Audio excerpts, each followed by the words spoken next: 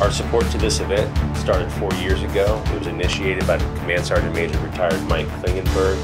Each year we've had between 60 and 70 athletes that come out. The athletes compete in the squat, bench press, and deadlift.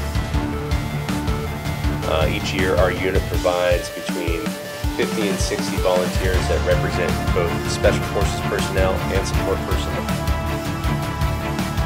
It's been an honor to be a part of this uh, for the last two years. I hope that our unit continues to do this for the foreseeable future. Yeah, one thing that I stressed to all of our volunteers prior to coming out is I knew that they would really be proud of their uh, their, their, participation in this event. It truly is an opportunity for uh, service members to sort of apply that selfless service, not just to what we do in our occupation, but also to the people that live in our communities. This is the state competition, so if they, if they qualify, they would move up to uh, compete at the national level of the United States. Your families are here, you have people from Special Olympics who are really selfless people themselves.